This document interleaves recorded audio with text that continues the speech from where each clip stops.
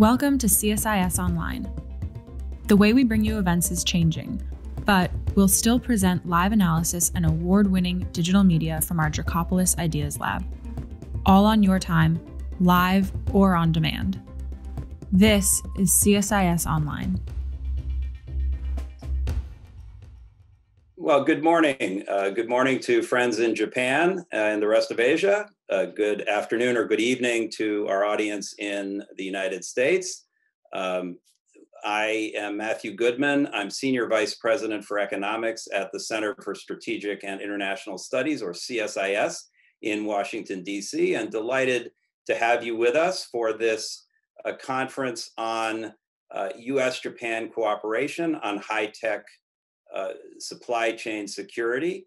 Uh, we are delighted to be partnering in this um, event with our friends at the Japan um, Institute for International Affairs, or JIIA in Tokyo, uh, which is a longstanding and wide-ranging uh, partner of CSIS. We've done a lot of things with them over the years, and we are delighted to be able to do this event um, on this very timely topic uh, with them today. I'm particularly uh, pleased to be joined uh, by JIIA friends uh, today because uh, they have been recently named the top think tank in the world uh, by uh, the University of Pennsylvania in their most recent annual survey of think tanks, thousands of think tanks around the world. JIIA was number one. So we're delighted and honored to be um, to be partnering with them on this event and sort of more generally as well. So congratulations to Ambassador Sasae, who I will introduce in just a second. Um, but uh, I, am going to just uh, say a few words about this event before I hand it over. Um, first, by just telling a little story. Exactly one year ago this week, I flew to Tokyo for what turned out to be my last international trip. Um, and I was speaking at a conference. When I arrived at the conference, the organizers of the conference handed me a pack of six uh, surgical masks and they said, Mr. Goodman, you will need these uh, while you're in Japan. You will not be able to buy them in a store because they've all sold out because everyone's been trying to get masks at the very beginning of the pandemic. And it was quite a sort of shocking uh, reminder of how important supply chains are. Um, in that case, for what turned out to be quite an important uh, essential item. But of course, supply chains have been around for a long time and have been an important issue in a lot of different areas. And this was just a reminder of how important they are and what happens when they get disrupted. Um, you know, whether multinational companies trying to decide where to put their next dollar of investment and how to move goods around the world, or governments who are concerned about uh, supplies of critical materials, uh, minerals, or technologies um, these supply chain issues are, are kind of everywhere and they're a very hot topic right now. And we're delighted to be having an opportunity to talk about them. It is a huge topic. So we're going to try to refine it a little bit um, and narrow it a little bit by talking mostly about high technology supply chains, um, also by talking more about um, security related dimensions of this story rather than questions of cost or efficiency, although inevitably we'll, we'll talk about that. Um, and then also specifically by focusing on how the United States and Japan see these issues and how uh, these two allies can work together um, or where there may be difficulties in working together. We want to explore uh, those issues as well. Um, so with that, um, I think I'm going to now, with no further ado, hand over um, the, um, the microphone to Ambassador Kenichiro Sasae, who, as everyone knows, is the president of JIIA, but he's also former ambassador to the United States and a good friend of us at CSIS, and I think probably well known to everyone on this call. So, uh, Ambassador Sasae, please.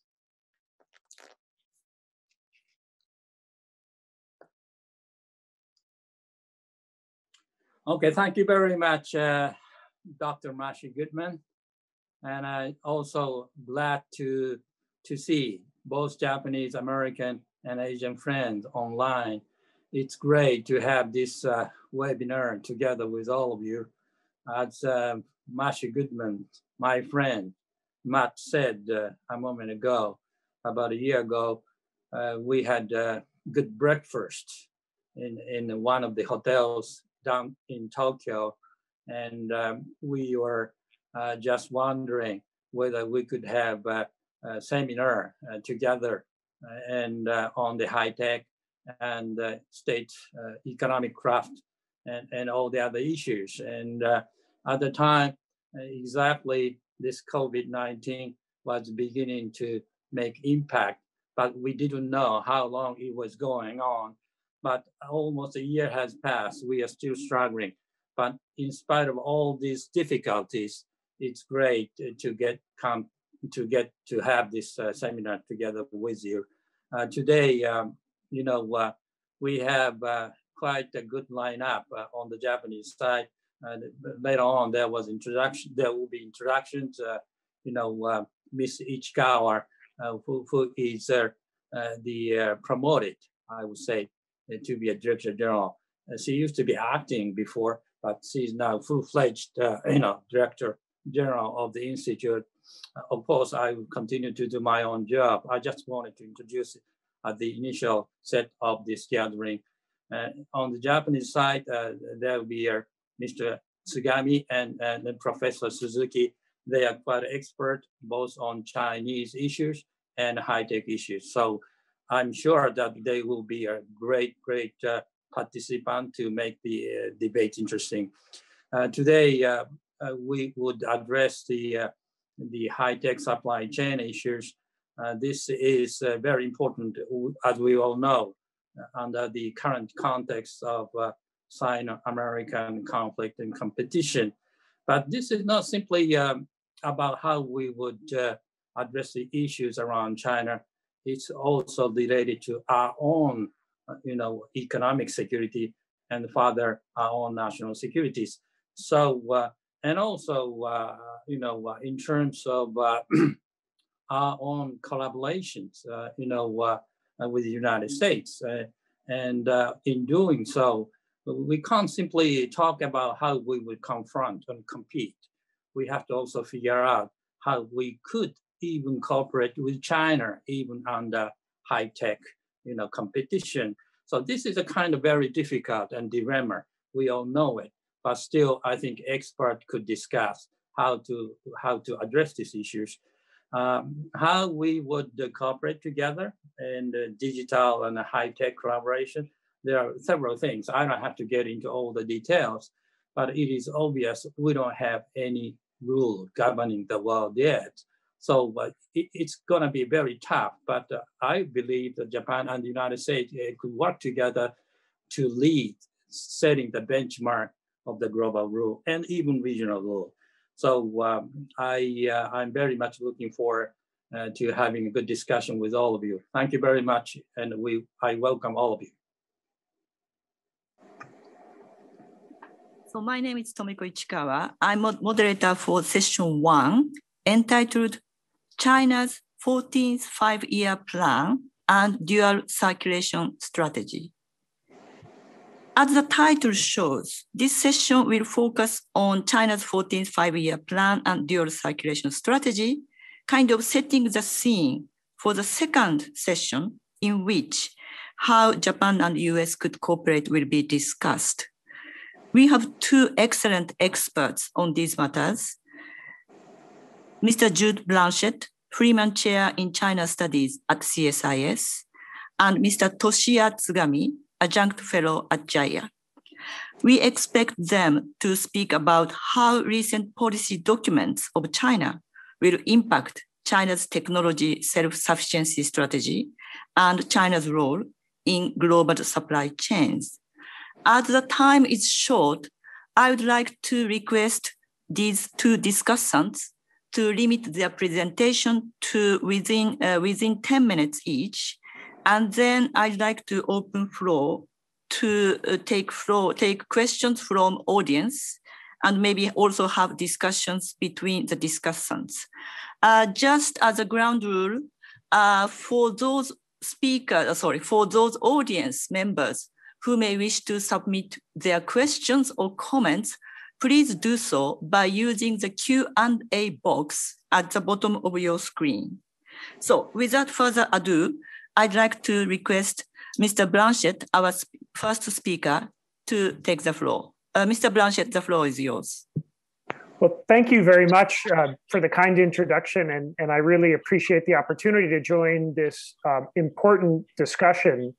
Uh, and I'm very much looking forward to hearing the, the comments of the other speakers tonight, given how um, important this topic is.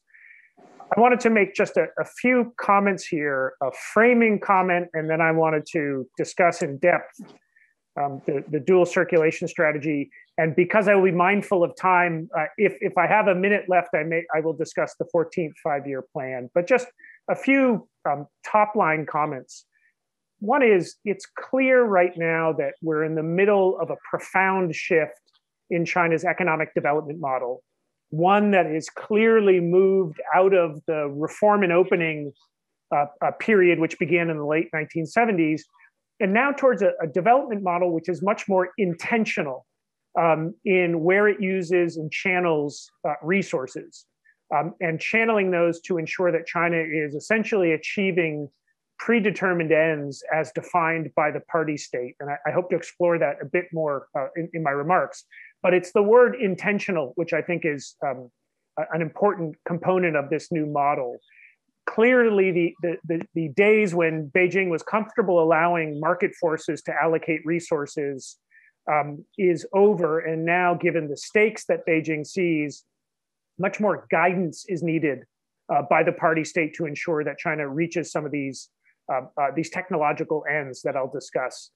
Um, I think many experts think that what's driving this shift is Xi Jinping's or Beijing's diagnosis about an increasingly hostile external environment including strategic competition with the United States, as well as competition with many of, of US allies and partners. But I actually think the main thrust behind what I call Xi Jinping's technological solutionism is Xi's belief that technology is really the key to tackling almost all of China's domestic or mounting domestic challenges, whether that's productivity, whether that's demographic challenges, or whether that's good old fashioned corporate debt.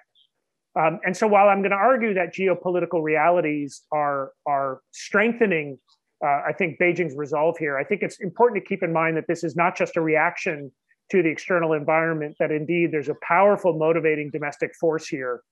Um, and that is the belief that technology can help China solve many of its domestic challenges. Let me spend a few minutes talking about dual, dual circulation. Um, as the Communist Party is wont to do, it, it picks relatively turgid phrases and names for its economic policies. Um, but let me just start out with what dual circulation is not. Um, dual circulation, despite the rhetoric from Beijing about self sufficiency, um, Beijing cannot afford to wall itself off. And so when you hear uh, within uh, the context of discussions of dual circulation, the idea of self sufficiency, think of that as a process rather than an end state. Beijing, I think, like many economies, um, is looking to essentially strengthen or leverage domestic demand uh, and build up domestic production capabilities and capacities more than it's looking to realistically wall the country off. And indeed, we saw last year, China was the largest recipient of, of foreign direct investment, a trend that Beijing is very much looking to uh, looking to further uh, uh, uh prolong. Instead, I think, um, as mentioned above, this is about uh, really shifting China's uh, economic model from external exposure to volatile, uncontrollable elements to one that's much more what, we, what they call in Beijing secure and controllable, essentially ensuring that the domestic is doing a lot more of the work in driving China's growth. Um, and indeed, uh, the, the the what many of the discussions we're going to have, have here tonight and, and the rhetoric coming out of the Biden administration about a new approach to confrontation or, or, or competition with China, China's reading those newspaper articles too. And so it has diagnosed what it feels like is a long term secular, um, uh, more hostile international environment. And so I think this was put well by uh, Zhang Moan when she said, it's not so much that we're in, a, we're in an era of deglobalization, it's that we're returning to an era of economic sovereignty, very much a concept Beijing is, is used to. Um, and indeed, I think that's a smart way to put it for how Beijing sees this. National security is now the dominant optic through which Beijing makes assessments about economic policies. um, and and solving these internal contradictions and ensuring that China is being put on a more secure uh, economic footing to, to be able to, to sort of get through the next 15 or 20 years is at the heart of what Xi Jinping is trying to do. Now, that being said, when you talk about dual circulation as a strategy to sort of put more emphasis on domestic demand and, and domestic manufacturing capabilities, it sounds almost cliched or banal in the sense that every developed economy is, is looking to uh, drive domestic or drive economic growth, relying more on domestic forces and less on external on external trade. But here's where I think there's something really interesting when you dig through the language of dual circulation as Beijing discusses it.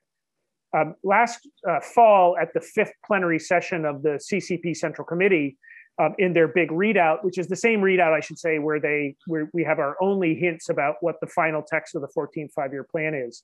Um, the, the fifth plenum readout discussed dual circulation uh, as being an important component for technological strength as well as security and stability of supply chains. And I think those two components of technological strength and secure and stable supply chains are an absolutely crucial component, not only of dual circulation, but of what we'll see in the final text of the 14th five-year plan. Um, technological strength, what Xi Jinping means is robust domestic R&D ecosystem, um, high-tech manufacturing capabilities. Um, Beijing, I think, very much has the German model in mind here, um, a national team of, uh, uh, of technology firms that are world leaders, um, and a government planning and guidance apparatus that can help give uh, focus and resources um, to, to this effort. What does that mean about the role that uh, foreign companies are going to play in China, or indeed that market forces are going to play in this new vision? This is not central planning. Um, but indeed, this is Xi Jinping's attempt, I think, to graft together uh, more government guidance, or what my colleague Barry Naughton calls grand steerage. Essentially, the government being there to essentially leverage financial channels to make sure the economic system is moving in the right direction.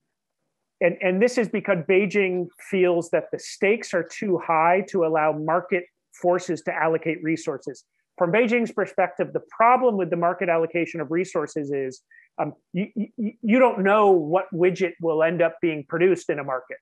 Uh, Beijing is very clear about what types of widgets it wants produced in integrated circuits, uh, automated, you know, uh, um, uh, automated driving, uh, autonomous driving, um, semiconductors. It can't allow the vagaries of the market to, to control this. This really has to require um, government guidance. But it's critical that China has uh, um, leverages markets to achieve some of these outcomes, as per Beijing's thinking about this. So I don't think we should see this as central planning 2.0. We should see this as China's attempt to essentially leverage markets as mechanisms to, to channel resources in a relatively efficient manner to achieve predetermined outcomes as defined by these big meta planning documents like the 14th five year plan.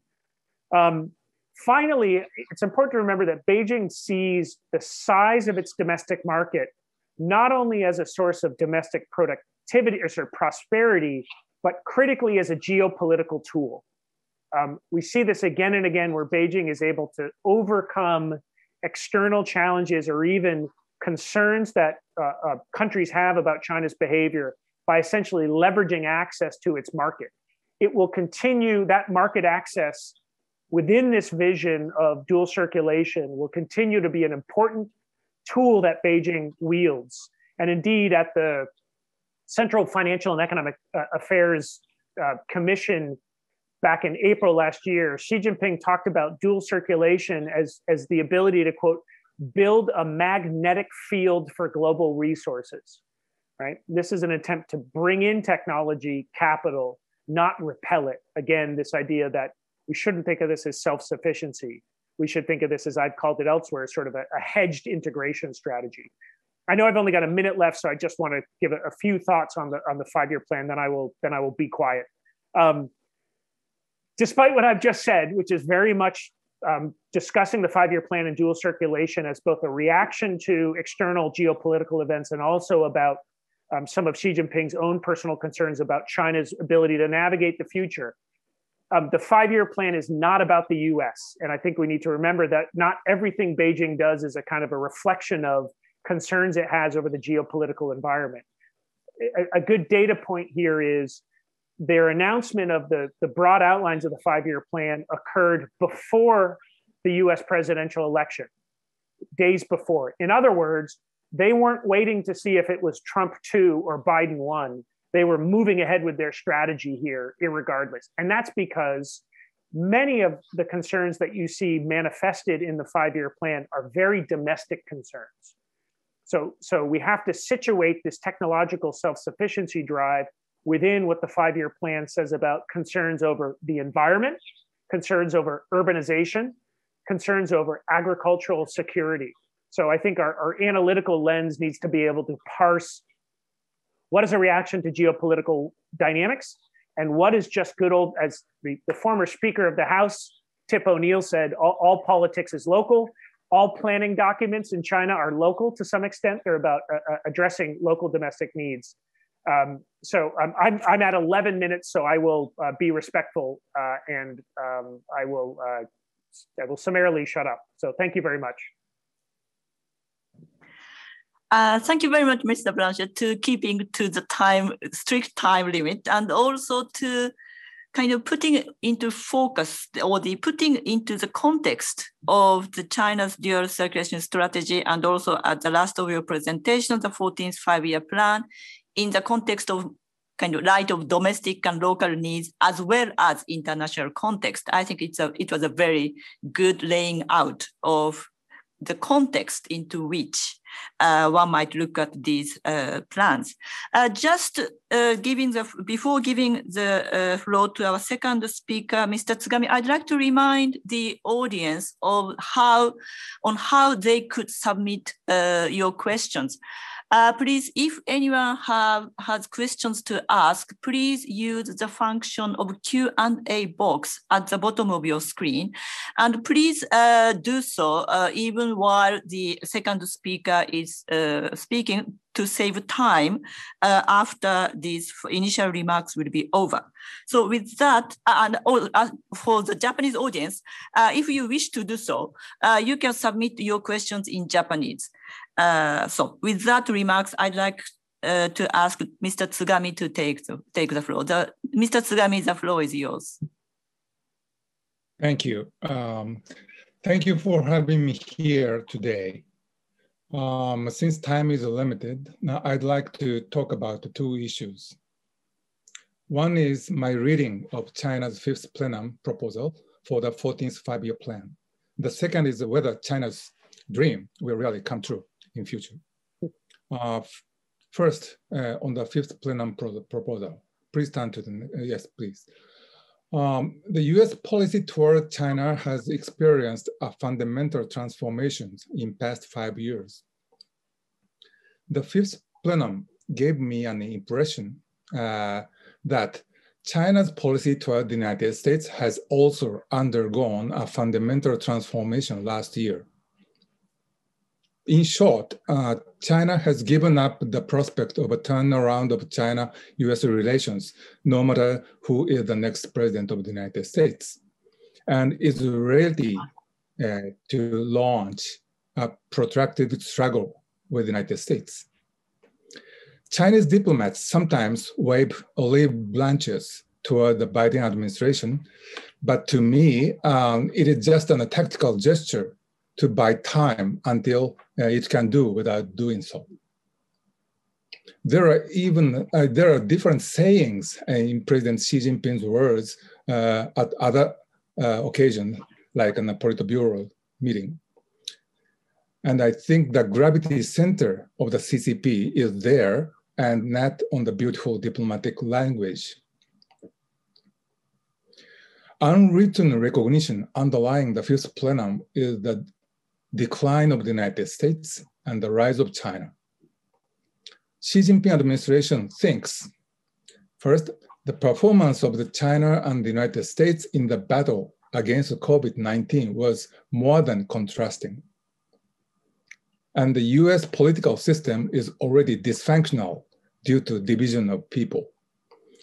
These two facts prove that the CCP leadership and the Chinese regime was superior. Uh, this is what they think, in my view. And this perception leads to an optimism so long as China would not give in and can continue protracted struggle with the United States, then time will tell in China's favor. But if you want to make, make it come true and surpass the United States, you need to develop economy further. Turn to next, next page, please. In order to drive economic growth, the fifth plenum put an unprecedented focus on innovation, science, and technology, and another focus on securing and upgrading supply chain. As the two charts on the right side of the slide show, China is already an R&D superpower. But after having faced with the US high-tech Cold War offensive, the resources that China will inject into R&D may be doubled from now in the next five-year plan. Please turn to the next page. This is a byproduct of Trump administration's high-tech Cold War policy. The after effect of the policy will come out in various forms as this slide shows. I share the US concern underlying high-tech Cold War policy, but you cannot kick on goal that hurts you and your allies' interest. I hope the Biden administration can make some policy adjustment here. Please turn to the next page. Maybe my illustration uh, is too provocative and irritative and make us think that China doesn't play the game on a level playing field. China is so alien and different. So what is the ultimate cause? The ultimate cause is the fact that that wealth and power is highly concentrated to the government. It is so deep rooted, and you cannot discipline such a regime with a trade agreement like TPP. State enterprise, subsidy, blah, blah, blah. They are just the derivatives of this regime. China has done an enormous amount of unwise spending that relies on debt in an ordinary economy, it will soon face bubble burst, but in China, it doesn't happen thanks to the implicit government guarantees, IGG, provided by mighty government. But there is no miracle in the economy in the long run. Please turn to the next page. Behind the world's best economic performance last year uh, happened substantial deterioration of government finance, and further worsening of excessive debt problem. Please turn to the next page. If China wants to maintain economic growth, uh, the prescription is very simple. Grow high efficient private, enter, uh, private enter, uh, enterprises and a new economy, while downsize and restructure old and wounded state-led economy. But the reality is opposite. Please turn to the next page. The most striking uh, feature of the Chinese economy is the extremely uneven distribution of wealth.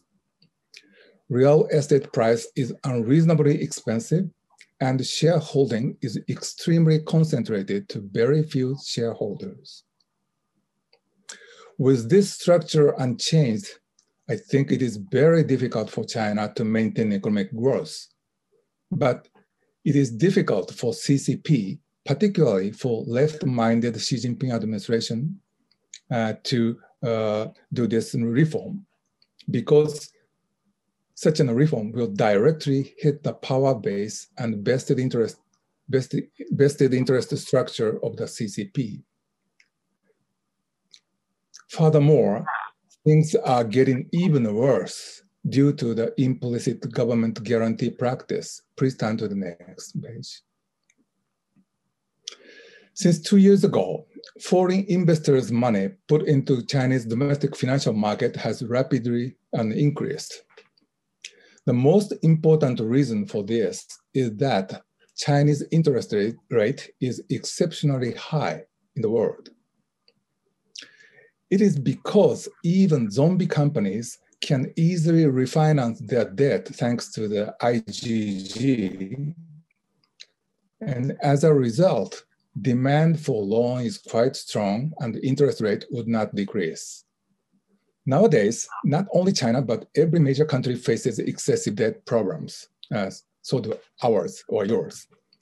But while most of the country's interest rate is close to zero, only China has that high interest rate. This further worsens the China's uneven distribution of wealth. Uh, please turn to the next page. Due to this, uh, uh, due to time constraint, I cannot get into details of this problem, but then with huge amount of non-performing loan undisposed and with interest rate kept quite high in every year, uh, in my uh, uh, calculations, two to three trillion renminbi of interest or other financial revenue is paid to creditors who are not entitled uh, to receive that. Two to three trillion renminbi is equal to two to three percent of GDP annually. In my view, this is an unjustifiable income transfer to one, state-owned financial institutions, and second, wealthy depositors. We may call this phenomenon a reverse financial repression. They say Guojin Mintui, state enterprise advance and the private enterprise retreat problem is serious.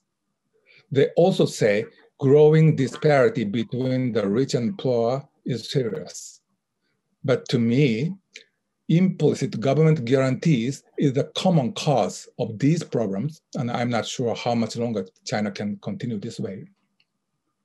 My conclusion, in the coming several years, China will further close the gap with the United States. But to me, it is just temporary. In the long run, China cannot run away from the punishment for deviating from economic principles. I don't think China can maintain more than 4.5% of annual growth for uh, coming 15 years from now, uh, the next five-year plan forecast. Back to the level playing field issue. My answer is sooner or later, China will also, uh, also be subject to the level playing field rules. There's no miracle in the economy. The biggest fear of mine is if the United States loses patience and makes a bad move, hurting its our own own interest and those of its allies. I'm not saying nothing need to be done. We must be united and some actions must be taken against China. But simultaneously, we also need to be patient and cool-headed. I stop here. Thank you.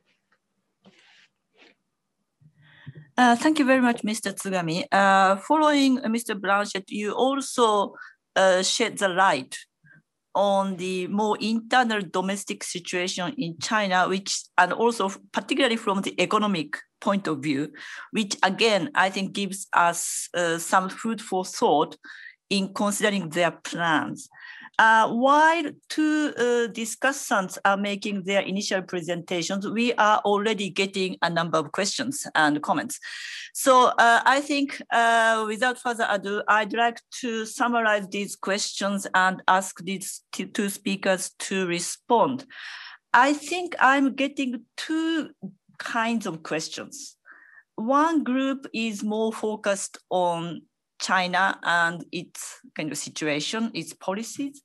And another is maybe maybe also could be answered by the speakers in the second session. Uh, some of the questions are already focusing on how Japan and the US should respond or how China's policy is influencing Japan's or US policy. So I would first pick up the first group of questions that I see here.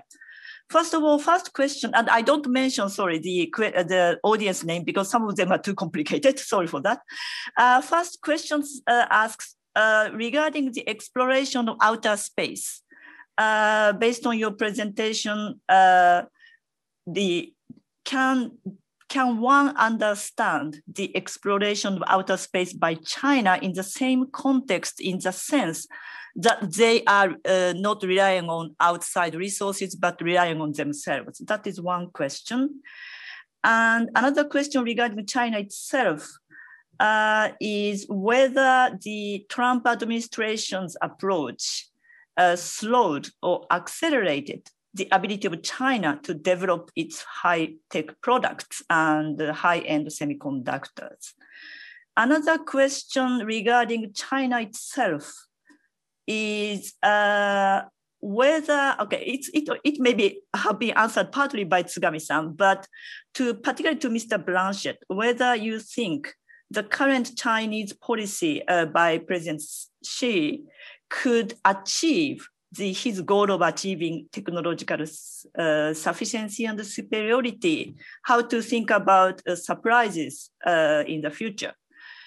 Uh, that might be another question is whether they see the role and the prospects of the Belt and Road Initiative by China. I think, and another thing, uh, the, okay, we are getting more, but this is the first group of questions. Second group of questions I see is more impacting or related to Japan or China.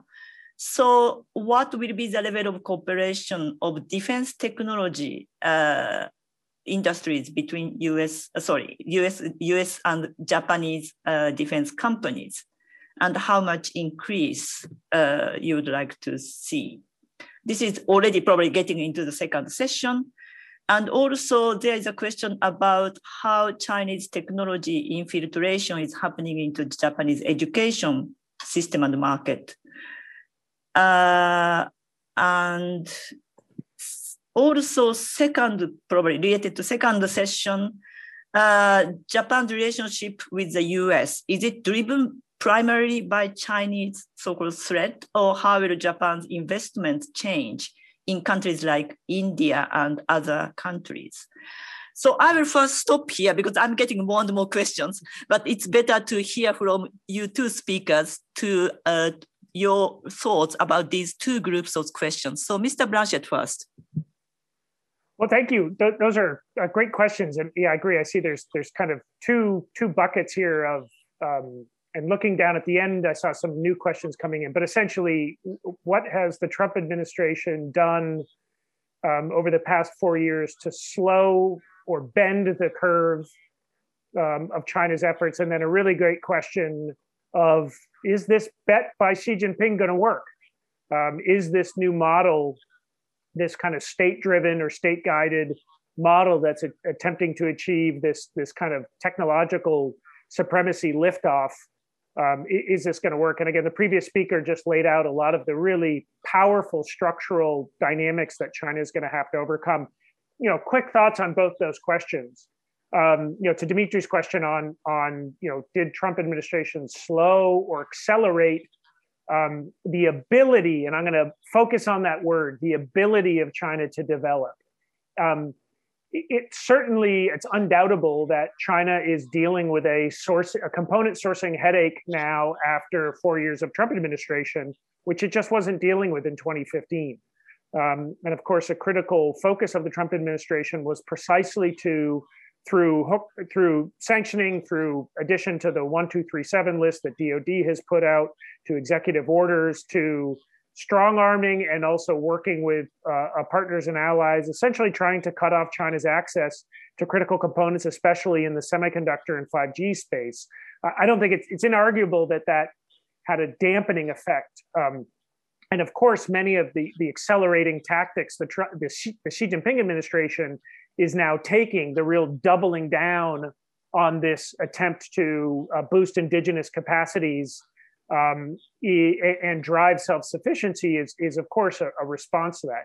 The bigger question, though, I think, is, is the use of the word the ability. Um, Trump did nothing to increase China's ability to do any of this. what it did is it, it strengthened the resolve to do it. And China is still looking out at a global supply chain, especially in critical technologies. It's not liking what it's seeing. And that indeed has been behind some of the strategic stockpiling of components, not only from companies like Huawei, but from the you know 48 million smaller semiconductor companies in China right now, part of this new wave of overcapacity, who have spent the better part of a year, you know, also stockpiling components. That only works for a while, and of course, that doesn't put you out at the front, the the, the R and D frontier, you know, where where they would need to be. And of course, people who follow, especially the semiconductor space, a lot closer than I do, can speak to the critical gaps um, the lagging China has in, in this space, which which it's not, which it won't be uh, catching up anytime soon. So the resolve is there, the capital is there, the the the intensity is there, but this is still trying to essentially leapfrog by uh, tools that China has long used to essentially, you know, goose a, a, an industry or, or a sector, um, and that's great to get you scale that's great to get you scale at a, at a rapid speed, but that is not great to catch up. Um, so I think that, that, that I think China still has a really, really formidable challenge um, on, on, the ability to develop high, high tech semiconductors. You know, related, and finally, I don't want to speak too long, just related on, on a really good question right below that on is this going to work? Um, I guess I have two comments on that. Um, by three, all of them unhelpful number one, we don't know. And I say this because I think we're really good as external observers of, of listing all of the weaknesses of China's system. And we've been doing that for four decades, right? And I've predicted 10 of the last zero economic collapses in China. Um, because what I think we're not good at is looking at the, the signs of or the elements of resiliency within China's system. Um, and so I don't mean to, to negate concerns about the, the headwinds that China is facing or the fragilities of its system. Um, but I do mean to say probably some you know humility on our part uh, on on how long they can stretch this thing out. Second comment, I guess I may I'll just make two. Second comment is my gut tells me this is not a sustainable model for, for many of the reasons that the previous speaker laid out in the end, what Xi Jinping is doing is just a smarter version of central planning. It's essentially saying, I want to use more market forces, but we're going to be throwing a ton of capital, intentionally almost creating waves of overcapacity in high tech spaces in the hopes that we, we hit the bullseye in a few critical you know, technologies. But, and this for me is the big but, um, I think this model still has some gas left in it. And even if I don't believe in the long term sustainability of it, Japan, United States, our friends and allies in, in, in Europe and across the world, we're going to be dealing with this system for, I don't know, the next decade. And so I think even if we see that there's some real weaknesses of the system, uh, US and Japanese companies still have to compete against these domestic national champions and some of the big SOEs who have a lot of support behind them. And as we know, with overcapacity in other sectors, when China goes big on an industry, you're going to get a wave of overcapacity. It's going to drive down prices and it's going to push out more efficient competitors. As we look at China really gear up with, under the 14 five year plan to get into some of these kind of critical and emerging technologies, um, that's going to have a really depressing effect on, on uh, uh, capital expenditures, on rates of return, and on pricing for the international environment. So even if we think this is a weak model, we're going to have to be confronting this for you know for, for the foreseeable future. So um, uh, great questions, and I realize I didn't answer both of them, but those are just some some thoughts. Uh, thank you very much, Mr. Blanchette, for covering so many aspects. And I'd like to turn to Mr. Tsugami. And before turning you, uh, I have another specific question addressed to you. Uh, if you could include in your answer, sorry for last minute, uh, how you see the uh, effect of aging of the Chinese population to the economic growth. So, Mr. Tsugami, please. Thank you. First, I'm uh, making a short comment on China's R&D driven policy um, I think the problem is that this policy will uh, waste a huge amount of money again. Uh, for example, uh, uh, if you interest, if you invest in uh, 1,000 semiconductor chip companies. Maybe the company that can eventually survive is only one or two companies. for the rest, all is done, all is dead. so that would be a very big waste of money. And uh, uh, from even from the macroeconomic view, uh, uh experts are uh, viewing that the that investment for R&D, eh, the, the efficiency is continue to getting down. Uh, so investment driven R&D driven policy of China will also see the, the decline in efficiency. And another problem is that uh, it will deprive uh, enterprises uh, of um, vitality or innovative uh, move. Recently, uh, there were big news articles on Alibaba or Mr. Jack Ma. I think the company was finally um, put under state control, party control. Uh, the C CCP thinks that uh, platform companies should not be free. Uh, they should they must be under uh, party and state control. But this will deprive the company of their vitality.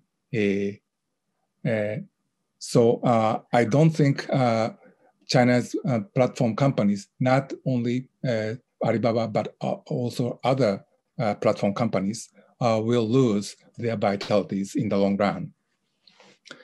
And on uh, Trump administration's uh, uh, harsh policy, uh, it was really a big blow uh, for companies like Huawei. Uh, they cannot make manufacture high-end smartphones anymore for the time being. Uh, but uh, we should not underestimate uh, their, uh, Chinese ability to adjust themselves uh, to their environment. there is an, a, a concept of cloud mobile phone, which doesn't need high-end chip. With a very high-speed 5G networks, those are tasks which need a high-end chips, uh, you can throw that task to run the servers. And smartphone can only uh, they need on, they only need to the answers uh, of those tasks. With this cloud mobile phone uh, uh, uh becomes popular. Then the high-end smartphone's price would be less than uh, 200 US dollars. So the question is whether uh, Apple or Samsung can survive with that cheap uh, high-end smartphone. China really has such an adjustment ability. Yeah, we should not underestimate that. And uh, uh, finally, um, what we should do, I think uh, the biggest stress uh, should be put on accelerating our R&D uh, and, not uh, on uh, policy that is quite against economic principle. I stop here. Oh, so, so demographic problem. I think China has finally uh, come to understand uh, they cannot run away from the demographic future. Uh, they have already understood that. But there is another problem that they cannot un still understand fully. This is an pension liability problems. Eight years ago, there was an, an economic analysis alarming that uh, pension liability will be a big problem in future. Uh, that was a very um, noteworthy and a, and a warning, but that has a very big problems and uh, from uh, if you look at look back from now because the argue liability would become 80% of GDP in year 2050.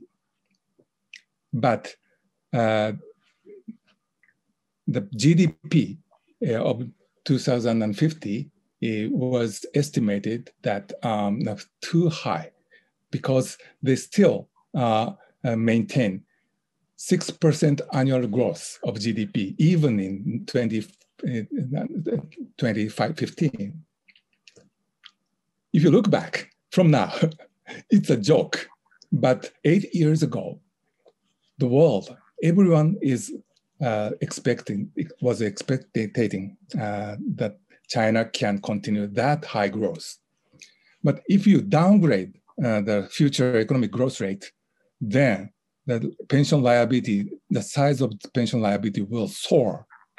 China has not um, fully understood uh, the magnitude of this problem.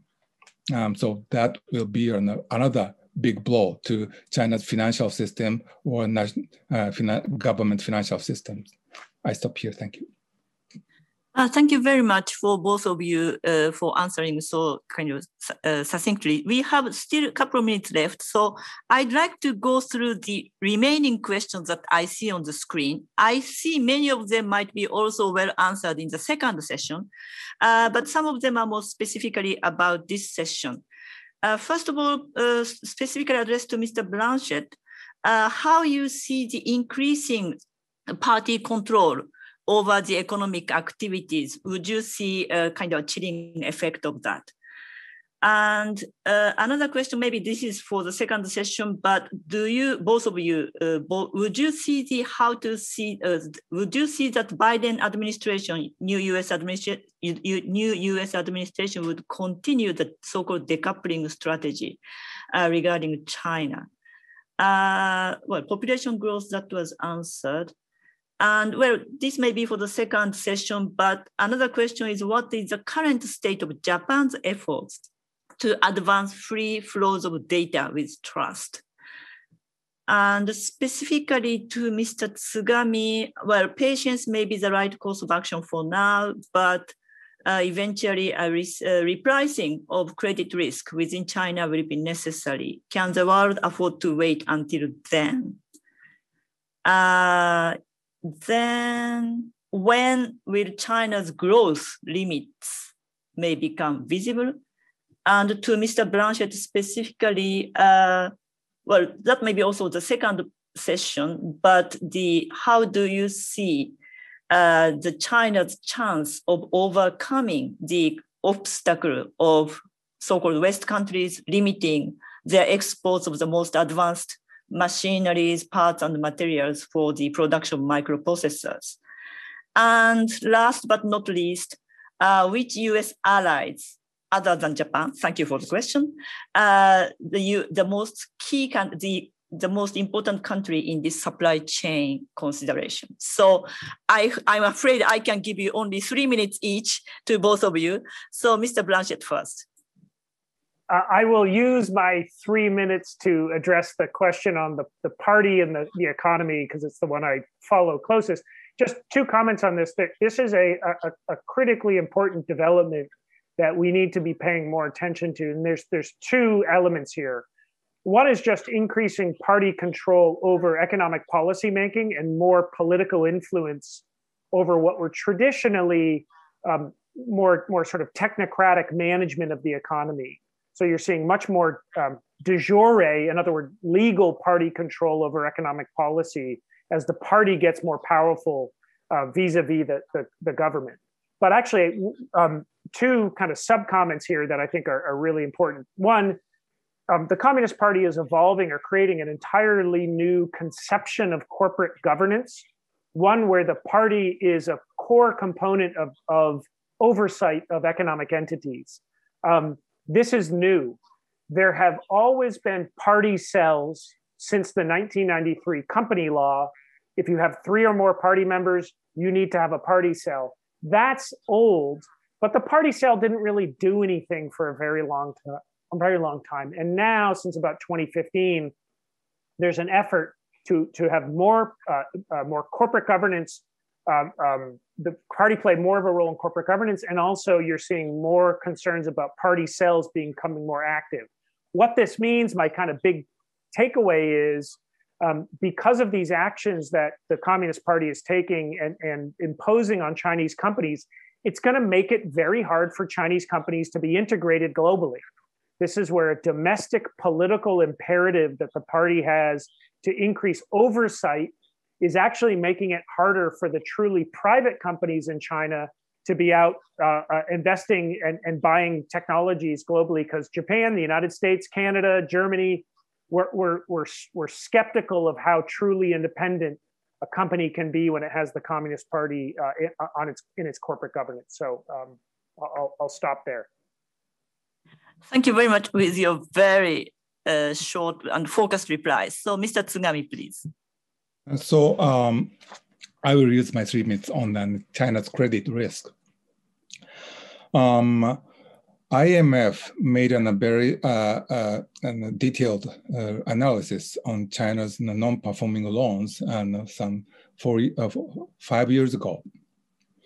And it said um, uh, corporate loans uh, by commercial banks, 50, 15% of those loans are at risk, but it does not include uh, loans to um, local government financial vehicle, uh, which is most problematic. I don't think loans to uh, LGFV uh, will burst thanks to uh, investment uh, in, implicit government guarantee issue practice.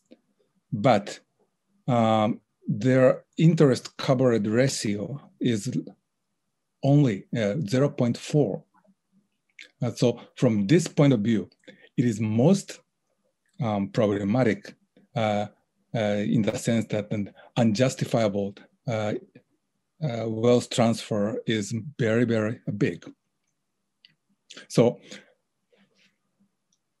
we cannot um, measure uh, China's credit risk from the point of uh, if the non, non-performing loan will burst, uh, China's um, credit bubble will burst. I don't think it is unlikely to happen, at least in, in a decade. Uh, what is most problematic is an IGG, implicit government guarantee, uh, will more and more deteriorate uh, China's economy. Um, so uh, that is my uh, short comment on credit risk. Uh, and uh, on party control, I agree with Mr. Blanchette's notions. Um, I don't think this is a good idea. Uh, uh, for example, in a news article, it said that Jack, Jack Ma's remarks at an, an seminar uh, angered uh, President Xi Jinping. And after having and heard of, of that news, local party, uh, which has a relationship with an, an Alibaba, uh, suddenly cut down the channels with, with those companies.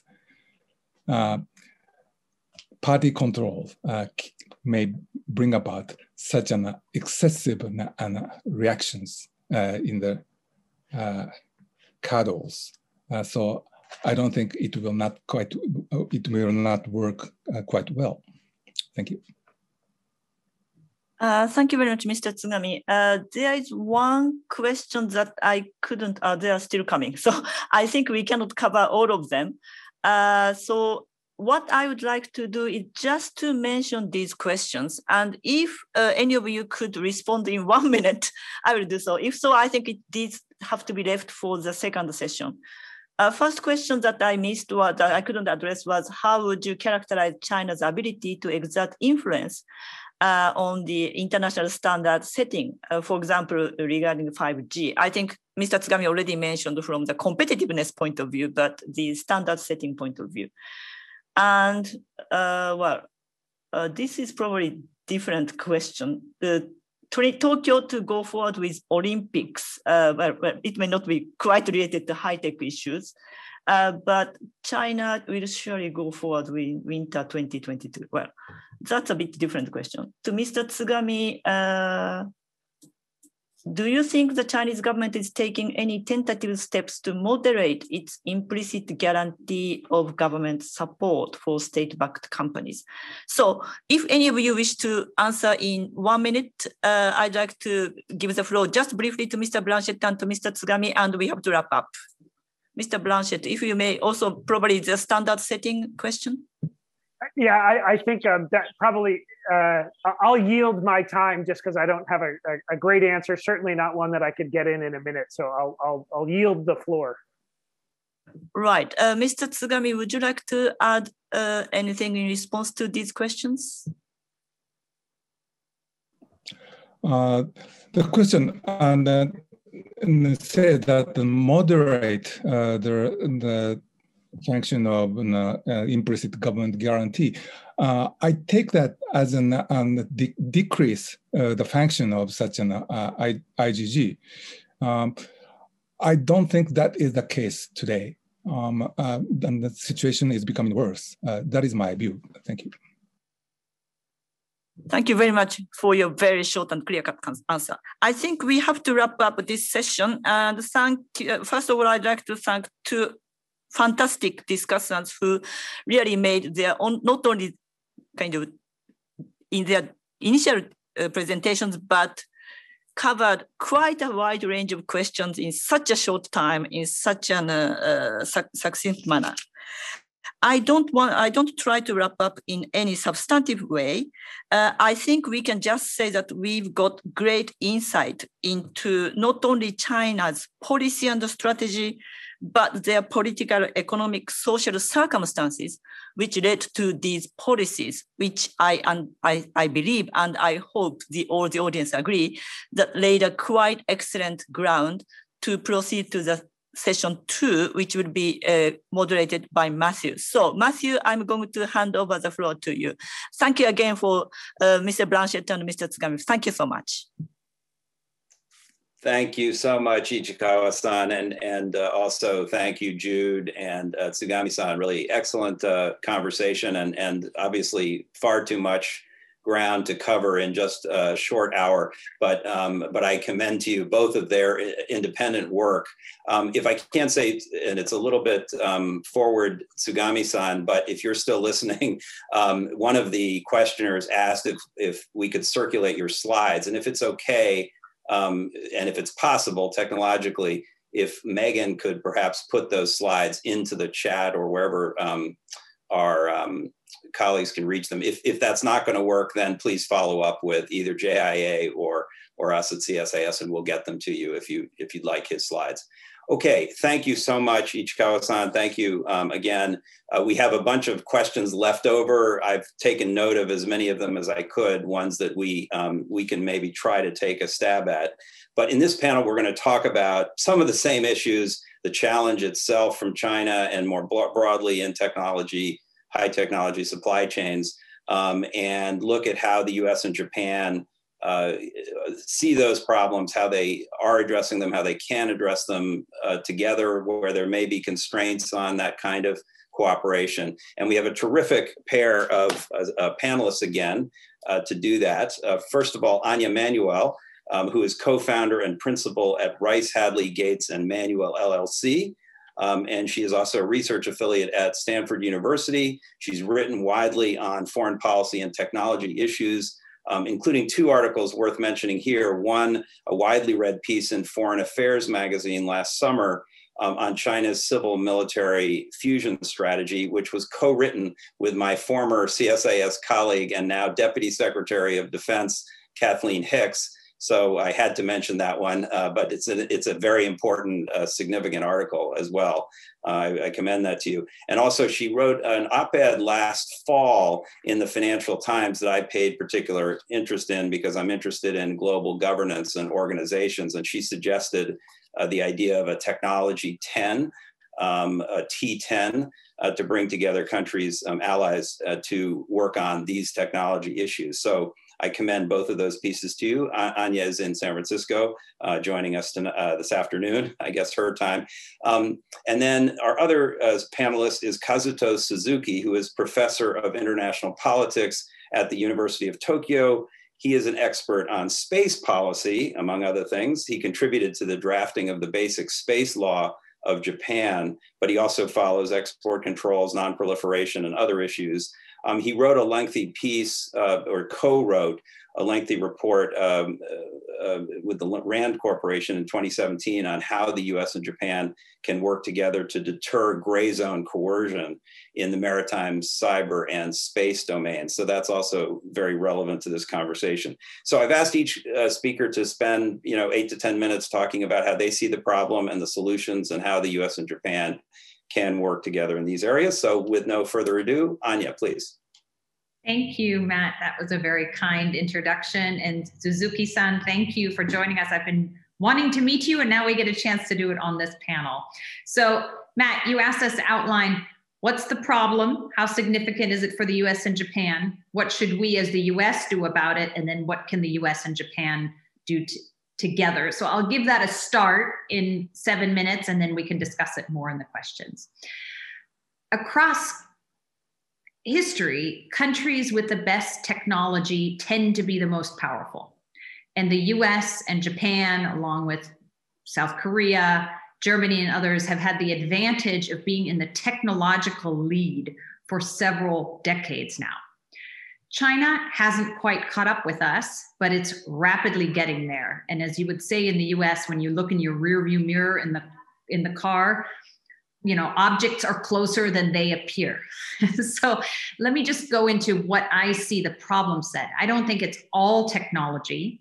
We certainly don't want to keep china down. We want their economy to grow. We want them to be a, a steady um, have a have a steady economic system and china is a truly impressive innovation superpower so i would just list five or six areas where I think the US, Japan, and our friends and allies should be looking at what China is doing and should ensure that we stay in the lead. One is financial technologies. We don't talk about these very much, especially not in the US, but this could be the next 5G. If you look at Alipay and financial, WeChat Pay, I heard in the last panel, you know, the Chinese are doing the best to hobble their own amazing companies in this space, but they are really out ahead. You know, the Chinese uh, central bank is now looking at a digital yuan. And in the US, at least, we're regulating a lot of our most advanced fintech companies out of out of town, so to speak. So that's one, fintech. 5G has been discussed a lot. 6G is coming right down the line. Huawei, of course, is excellent, neck and neck, I would say, technologically with Ericsson and Nokia, and of course, heavily subsidized. And so, in a lot of ways, cheaper. We don't need to talk more about that. Third, artificial intelligence. Some of the best academics in this space are, of course, in the United States, uh, Japan, Canada, the UK, but the tinkering and the application of AI increasingly is happening in, in China. And when you, I've been to a lot of the different AI labs there in sort of China's Silicon Valley outside of Beijing, they're really impressive and straight out of central casting. And those are some really impressive entrepreneurs. So I would put artificial intelligence, especially certain pieces of it, as, as in some areas, China really being neck and neck. That's three. Fourth is semiconductors, which of course are the building blocks to everything else. If you're going to be world leading in, in AI and quantum, and the chips are key. And no one knows that better than Japan because you are still in the lead along with Korea, Taiwan, and in design. Um, and also in the sale of manufacturing equipment, the US. So, of course, in semiconductors, China hasn't quite caught up, but it's spending billions and billions and billions of dollars trying to get there.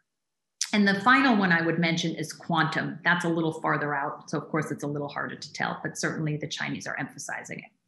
So if you look across those six um, areas of technology, how do we ensure that the Japan, the US, our friends in Europe continue to be leading in innovation in those areas? I would give the Trump administration credit for recognizing the issue. They realized that there was a concern and they started doing something about it. But so far, I would say it's almost entirely been defensive. How do you build a moat around American technology? Um, you know, stricter export controls. Chinese companies can't invest in American tech companies. American tech companies can't export a lot of things to China. It was a start, and certainly some of that was necessary. A few things I would say were overreach, but now it's time to do the second piece, which is harder, but also more important. So, what do we do now? We have an opportunity instead of tearing China down to build ourselves up. And in the US, um, I've given talks and written about this, and I'll, I'll get to what we can do with Japan. But in the US, the first thing we need to do is coordinate our tech and innovation policy better across the US government. Jake Sullivan and our friends who are going into the Biden administration now have made a start. They created a small office within the National Security Council that's going to do some of that work. They've um, increase the visibility of our Office of Science and Technology policy. Those are good steps, but boy, a lot more is needed, right? We're going to really have to push this. We need to start working with our allies, especially Japan. And I'll come back to this, Matt. You you very nicely mentioned my article. I'll just come back to that in a minute. Uh, we will need to think through how to protect basic research at our universities. The Trump administration took a very tough line and when you hear some people in Congress talk, it goes down to, well, we don't want Chinese researchers and students.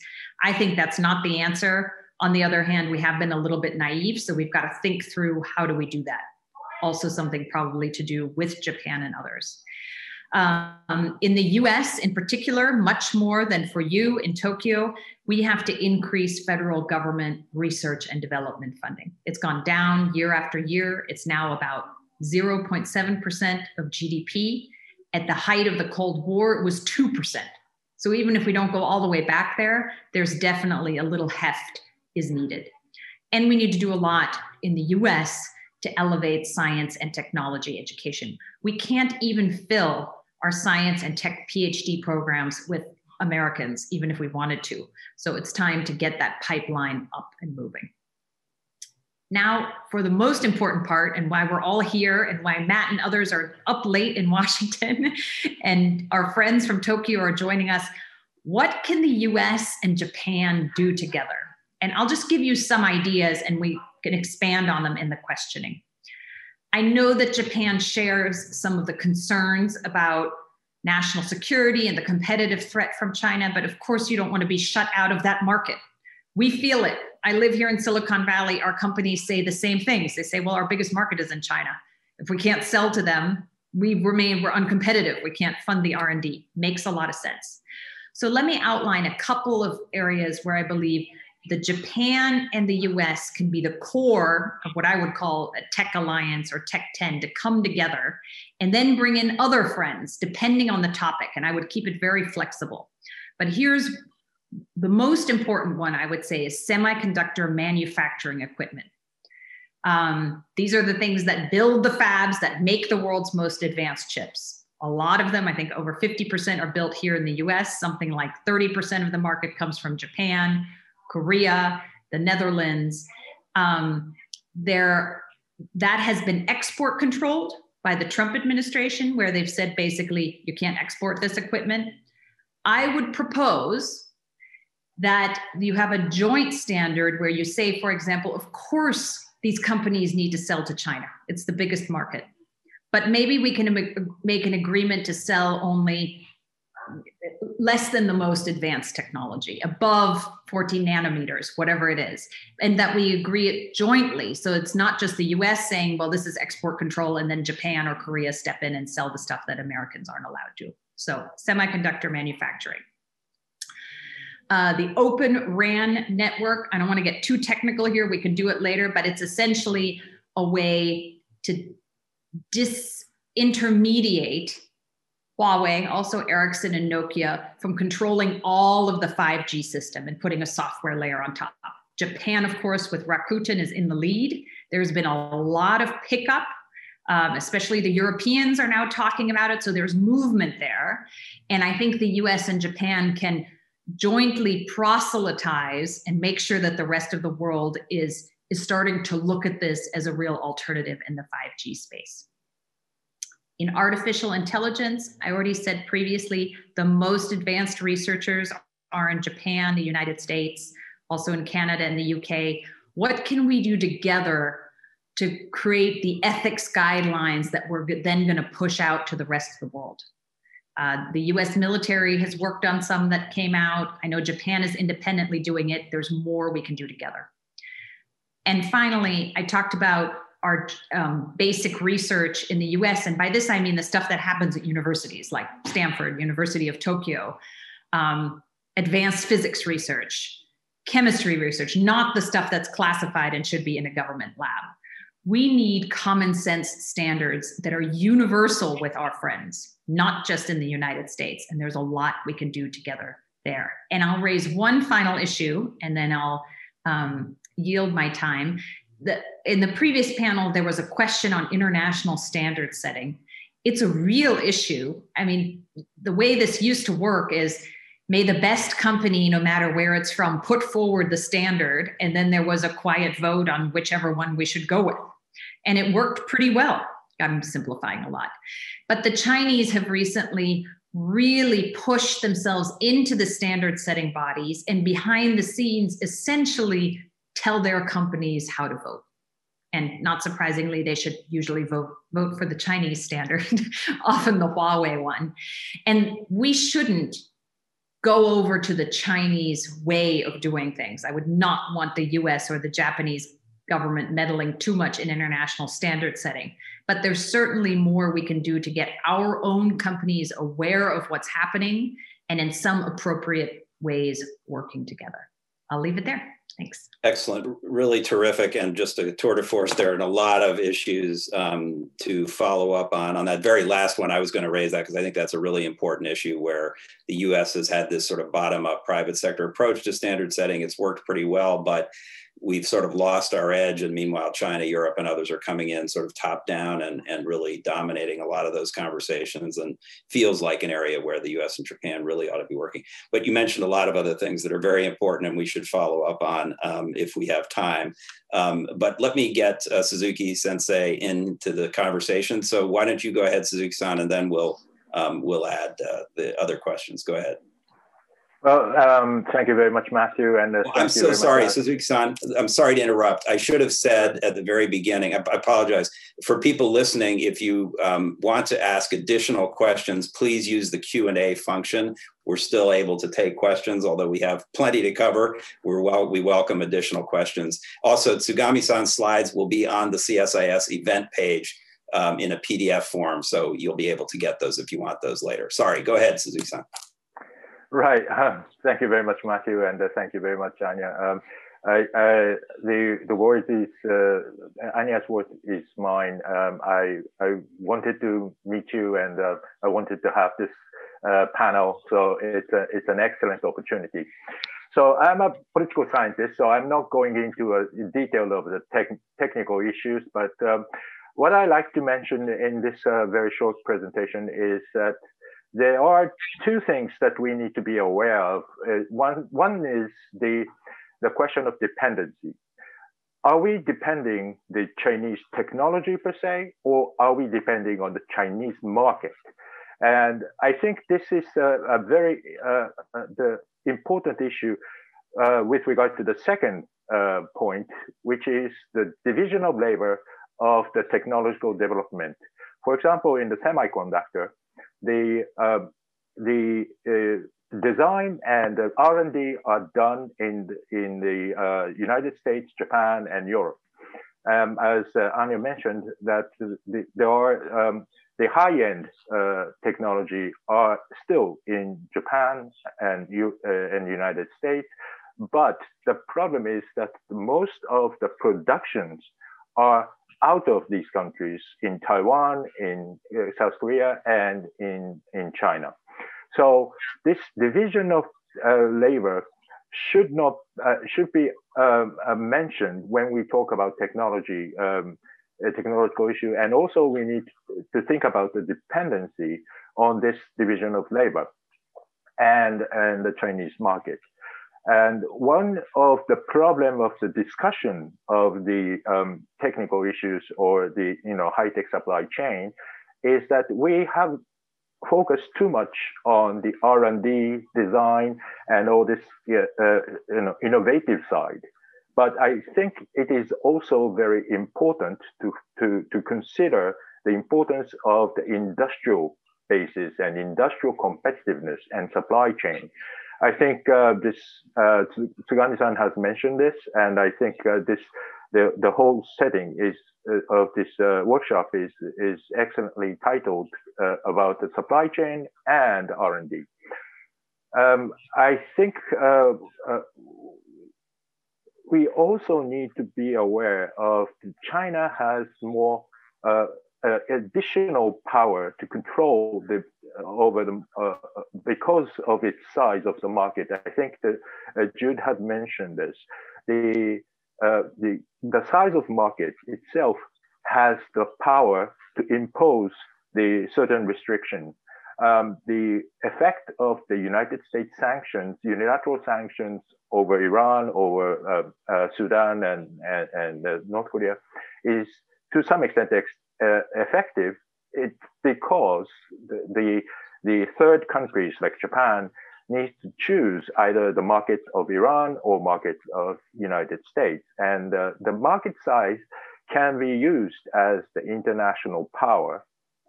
So this is again another uh, important element that the, the China is using its uh, this uh, global um, supply chain network and using it as the as the leverage to move other countries. So one of the issues we, we focus pretty much on uh, when we talk about the Belt and Road Initiative, we focus very much on the investment from China. But also, I think we need to be aware that the many countries depend on Chinese market as the destination of export, and also uh, they depend China as the uh, source of imports. And when uh, China imposing the control over the import, uh, over the trade, uh, that has been that is the problem. And on top of that, there are the I, I think um, um, Jude has mentioned about the CCP uh, Central Economic Committee in April uh, last year. The Xi Jinping said that to develop the killer technology to make other countries depend on China. And this is the, uh, a clear statement of using uh, these uh, technological capabilities to leverage, uh, to use as a leverage against other country. And, uh, and I think the China is starting to be aware of the power that having those uh, global supply chain network and the uh, key technologies which are in advance to other countries so that they they are the sole provider of the uh, of the particular technology and and uh, that are the the points that Anya mentioned about the uh, uh, fintech, uh, AI, quantum technology. These are the areas where China will use as the force uh, as a national state power to to impose on the other countries. So what uh, can we do about it? Uh, one of the uh, point is to reduce redundancy. We have to review the.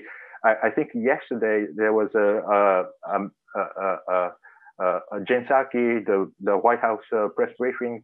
Um, mentioned about the review of the semiconductor supply chain, and that is uh, that is the important step towards reducing the dependency on the production cycle of the uh, of the semiconductor. And I think the problem is that those production process is manufacturing process is the low value, added value uh, domain. So we need to have much wider alliance, not only between Japan and the United States, but also involving countries like Vietnam, Thailand, and to include those countries as an alternative to the manufacturing site for Chinese uh, uh, um, uh, Chinese production capabilities and try to, uh, let's say, uh, create the economic uh, sphere to to to secure the supply chain. And I think TPP is very much of the importance in in, in this objective. So the diversification of production is one thing, and also we need to expand our, our market size uh, through these uh, uh, uh TPP and the free, uh, free trade agreement. And one of the key players, not only about the market size, but also about the IT technology is India. And how to involve India into this framework is going to be an, uh, very important. And I think the framework of Quad, the Japan, United States, Australia, and India, will have certain uh, uh, entry point of including the uh, India as a part of this wider scale um, uh, market to compete with the Chinese uh, as an alternative to the Chinese market. The the other issue is the uh, R&D, of course. The, I think that Anya mentioned that uh, we need to have alliance of the uh, R&D, the development of the intellectual properties, and we need to, um, and also the standard setting. I think the standard is extremely important, but I think the, the, those who are holding and setting the standard are those who have technologies, uh, the first-hand technologies. So R&D in the high end, R&D in the in the uh, higher value-added uh, domain is important. China uh, tend to be more standard. Uh, they are they are they are setting up the production site based on the the standard which are set by the countries like United States, Japan, and Europe. So uh, I think we need to keep that and make sure that the United, uh, the China depends on those um, uh, ideas and new technologies, uh, patents of the uh, alliance, uh, the technological alliance T10.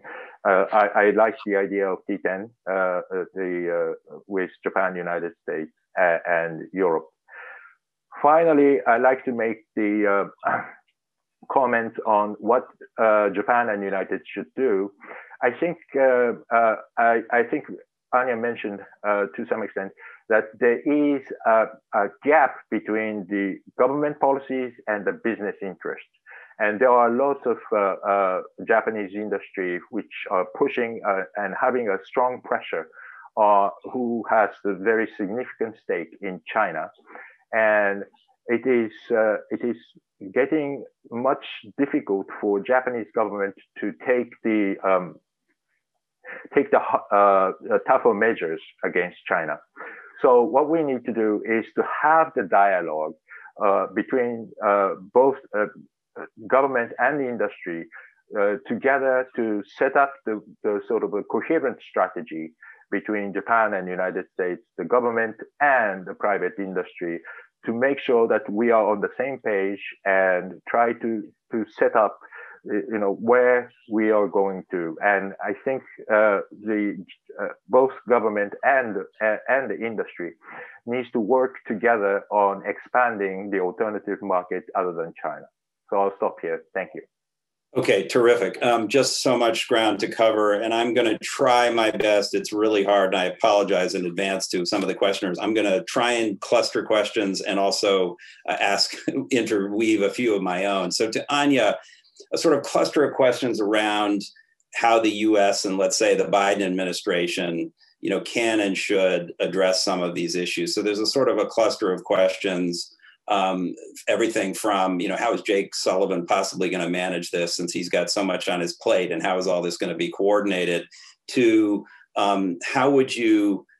So let me ask one domestic and one international. Domestically, what what um, what's the right? So you've talked about the basic investments we need to make in innovation. You know, R and D, get that spending up, uh, STEM education, and so forth.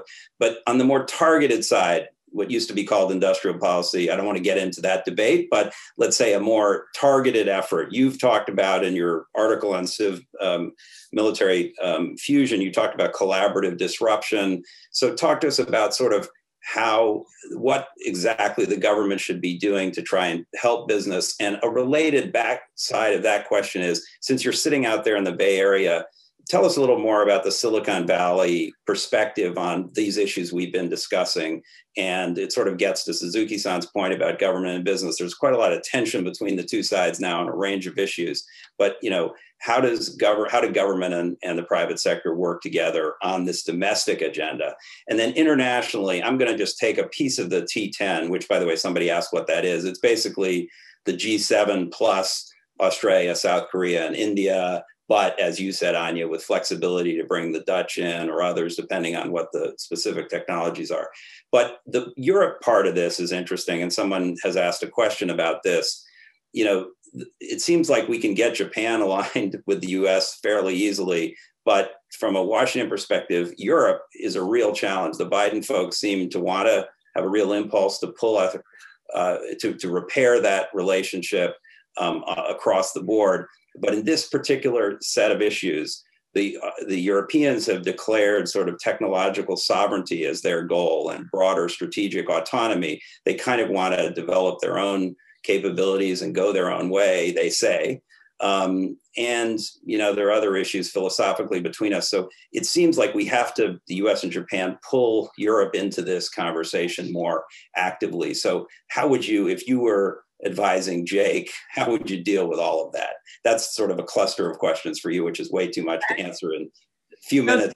Please try. that shows you, you know, how sorry we feel for all the folks who are in government now because it is just headache inducing. It's very complex. So let me start with US government coordination, then I'll move to Europe and your other questions. So um, our US government and many other governments, especially European ones, aren't very well set up for this.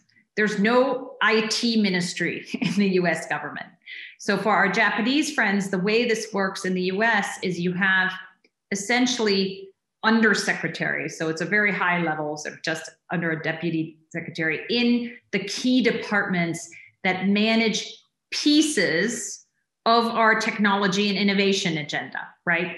It's the research undersecretary job at DOD, right? It's um, the head of the Bureau of, of Industry and Security and ITA at Commerce. It's the economic portfolio at State. It's the person for international affairs at Treasury. But they all see different parts of it and there's no one who's been able what you really need someone is to in the usa we to herd the cats to get people on the same page and moving in the same direction. So that's what i think jake is trying to do with this start within the nsc it, it's going to be hard i'm telling you. Even if you have someone with so much clout these people don't like to be coordinated and so that's a that's a very complex job. You asked how much industrial policy should we have I would say very little. And reflecting back what Jude said in the last session, boy, we don't want to go to the Chinese model. There's no reason to out China China. Sorry, Japan and the US and our friends are doing fine on our own with a little boost and a few exceptions. So I'll say this. Um, there's a huge amount of private sector r&d spending in the united states a lot of it is by some of the big brand name tech companies that you know, you know, Google, Microsoft, others on AI. A lot of R&D spending that gets tax credits isn't on what I would call hard tech problems. Like it's not necessarily on new semiconductor manufacturing equipment, new chips, you know, those those things that are really enormously expensive to design and then to produce. A lot of what counts for R&D spending is you know your latest app or an emoji or i think you can get an r&d tax credits for new craft beer in the united states. You know we're all for craft beer but maybe a little industrial policy there is warranted in the sense that you could give a few more carrots to industries that we really want to make sure we remain in the lead on like semiconductors um, with thoughtful restrictions that don't put them out of business, but say, okay, maybe you shouldn't be selling your most advanced technology to China. So I have a very, I would have a very subtle, thoughtful, nuanced approach for industrial policy. And that is not something the US government is very good at. So that's on the US. You then asked about Europe. And, and let me just back up and, and describe what I mean when I have written about the Tech 10. Others have too, Mike Brown at DIUX and Richard Fontaine, I think, had a piece. And they're all slightly different. The, the general idea is boy, we can't be doing this alone, just US versus China. We need to bring our friends along. After that agreement halts. so, my view is that it's not a new OECD. It's not a new international organization. Those are tend to be good at putting out pronouncements and not actually getting the work done. Um, and it's not one set of countries always involved. You know, I, I keep coming back to semiconductors, but there's a certain group of people that needs to be involved when you're talking about semiconductor manufacturing equipment, right? I mentioned them Japan, Korea, US, Netherlands. There's a whole nother group of countries that needs to be involved when you're talking about AI Canada, the UK, India, right? Suzuki san mentioned India. So, my view would be you have working groups on the problem you're dealing with that brings to the table the CEOs of the right companies and the right governments for that particular issue. And that brings me to your final question, which I think was about Europe. You're right that Europe is hard to bring along. I'm, I'm part of, as I'm sure are you, various study groups about with Americans and Europeans, how can we better coordinate policy on China? And how can we better coordinate tech policy? And I'll just tell you, even though it was you know not for attribution, in the first session we had, the Europeans launched immediately into well, we, you have to t- tax the tech firms better, and you need French content. And that's not what we're talking about when we're Americans. We're talking about, you know, how do we get some of these national security issues right? So you're absolutely right. We've got a long way to go. Sorry, I was away from my mute button there. Um, um, okay, um, I can you just uh, can I just um, ask you to say a little more about the um, Silicon Valley perspective on the, this and the uh, you know how they sort of because as you said in passing in your in your opening remarks, you know they're very dependent on the Chinese market, um, but on the other hand, they've got to have some of the concerns that that are underlying this conversation about you know resilience of supply chains security of supply chains and so forth. So what's the it's hard to oversimplify to generalize but what, what's the kind of general take on on what the answer is here? Yeah to to parse it a little bit um, you're moving from an attitude of just leave us alone. We've got this. Let us do what we want to oh we see the problem. Let's work more with the US government to figure it out slowly but surely. And Silicon Valley isn't uh, unified, right? It depends very much on which specific piece of the tech industry you're talking about. If you're the big internet companies, you're not in China anyway, right? You're just not. Um, Google, I don't know if Facebook does, Microsoft, a couple of the others have big AI research labs r&d in china and the question is do you shut that down? I don't know probably not the right thing to do. No one's really talking about it in any coherent way. I think we've moved off a lot from three years ago when google refused to participate in project maven refused to cooperate with the us government on a pretty basic visual recognition ai project. I, I hear more and more people in the valley saying oh how do we cooperate with our government. That's that's a positive thing, but it's by no means universal. So I would say it's different depending on the specific industry you're in, and we're moving in the right direction. Okay, terrific. Um, I'm going to come back to you on a couple of other things, but um, let me get Suzuki Sensei into this conversation by asking. Um, you, um, Suzuki-san, about, uh, well, I want to give you a chance to elaborate a little on space cooperation. I'm particularly interested in that topic, and you've done a lot of work on that. So if you can give us one minute version of your kind of view of space cooperation. But the actual question I want to, I'm, I'm going to ask you two questions. One, um, you talked about getting production more diversified and you know frankly out of china on some level. Japan has a subsidy program to encourage companies to take production you know back to japan or into other asian markets. Um, talk to us a little bit about how it's not a huge program but it seems to have been quite popular with a lot of at least smaller companies. But is it uh, is it meaningful answer to all of this? And and um, Anya, well, hearing him answer that, I'm interested in what you think about similar proposals that the Biden administration is thinking about to encourage reshoring of of production, whether that's a good idea. But Suzuki Sensei, first on that. Um, and then the, the final question for you, Suzuki san, is about constraints on cooperation. J Japan doesn't have a security clearance um, it has a limited security clearance um, program that may constrain particularly business government collaboration, uh, maybe other aspects of cooperation. It may be one of the reasons that Japan isn't yet in the Five Eyes. I mean, I, I am interested in your view on whether that's a real constraint. And then the whole culture of defense and universities and business all working together on these issues seems to be still kind of underdeveloped in Japan. Can you talk to that? A lot of lot of individual pieces there, but if you could take a stab at some of that, I appreciate it. Thank you. Right. Um, thank you very much. Uh, all those uh, points need to have another 10, 15 minutes to, to do the presentation. Um, the, the subsidy program for the diversification, yes, I think it is a very unique approach, but uh, there are there are certain legal, particularly you know um, uh, with regard to the WTO rules, etc.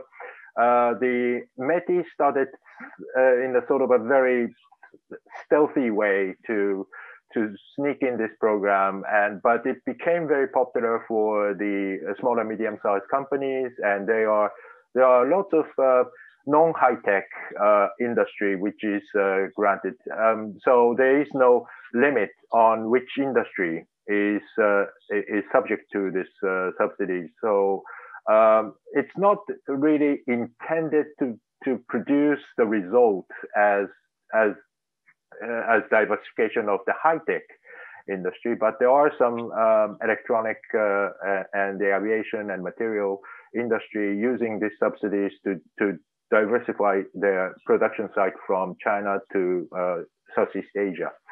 So there are there are potential, and I think this this is uh, this is uh, uh useful. But I think we need to be careful uh, to to to walk on the fine line between this uh, um, the government procurement, the sub the state state aid regulations on, on the WTO the constraints on the business, uh, uh, the information, the security, and the sensitive technology, yes, that's that has been a big problem.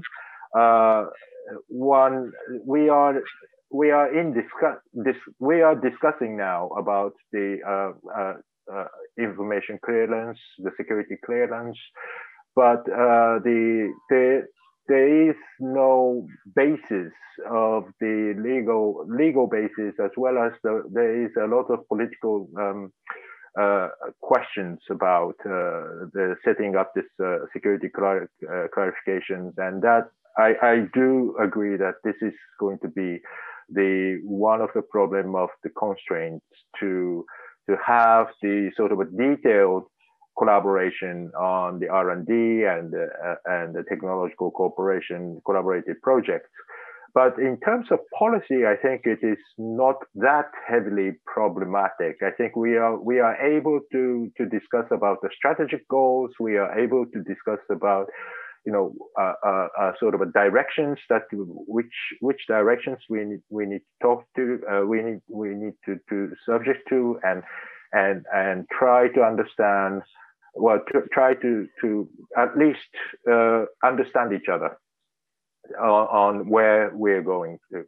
The defense and university issue has been a big problem, and uh, the the um, um, the there, are, there has been a, the historical problem, and I think you are well aware of that.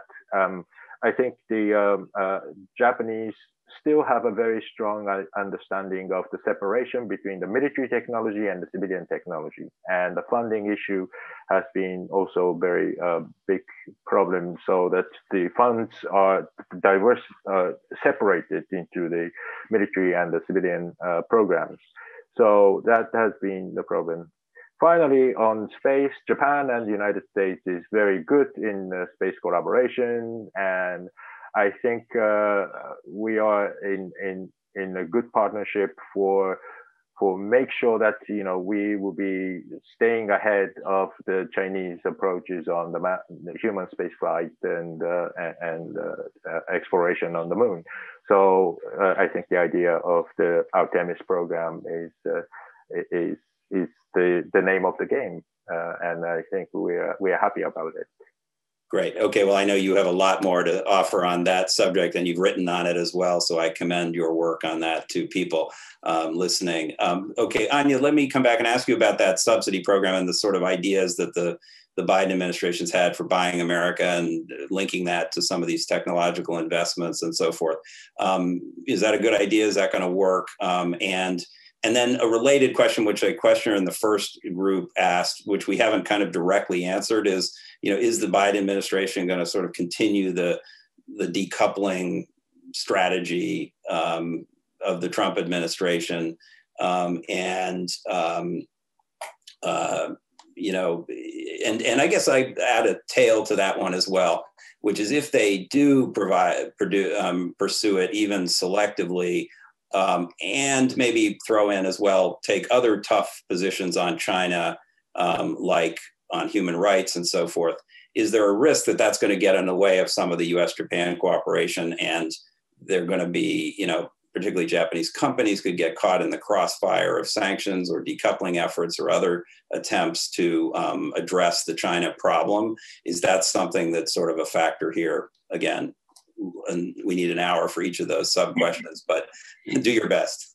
we can all stay here all day. Exactly. First of all, I want to thank Suzuki san for doing this all in English. I certainly couldn't do it in Japanese, so that's very impressive. Thank you. Thank you. Especially these heavy technical things. Um, let me take them one at a time. Subsidies for reshoring. Boy, I would be very careful and do them only in very precise and narrow circumstances. For example, do you want one or two semiconductor fabs, factories, that are in the United States that supply the US military? Maybe. I think that's something you could talk about. But a broad, you know, a huge subsidy program, you know, these things are hugely expensive. One fab could ta- cost $10 billion or more, right? So um, there's the US CHIPS Act out there, which proposes $23 billion in subsidies. That seems like nothing now that we're se- selling, you know, now that we're putting out a $1.9 trillion package. But ultimately, these things become very expensive and you're picking winners and losers. So I'm, I would stay away from it as much as possible.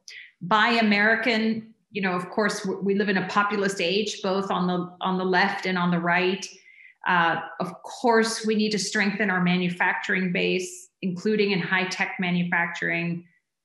Can you buy American in all instances? Probably not. I know that's an unpopular position now, so I would be careful about that too.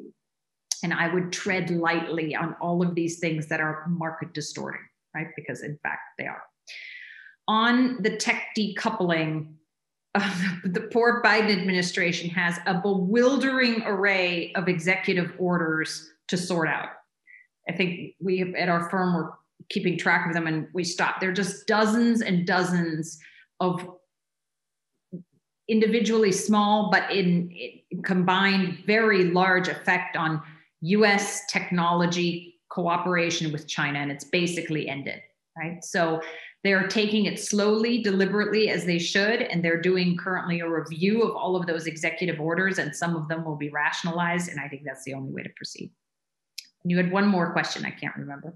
Uh, I can't either. Uh, sorry, we'll come back to it. I, I have one more for you, if if if um, if I can just get Suzuki-san in. Um, on another question from the audience, which is, um, oh, by the way, Dimitri Sevastopulo asked a really interesting question about fintech, but I'm because he's a reporter and he can find you separately. I'm going to let Dimitri track you down and say, "I'm "Sorry, Dimitri, but but uh, but you can talk to Anya directly." It's a really interesting topic and one that we're also very interested in in my program at CSIS. But um, uh, Suzuki-san, uh, interesting, you know, question. You mentioned Taiwan and um, the importance of it in this whole story. And by the way, either of you, I'm interested in you know your thoughts on this sort of near-term problem of chip shortages and how Taiwan plays into that.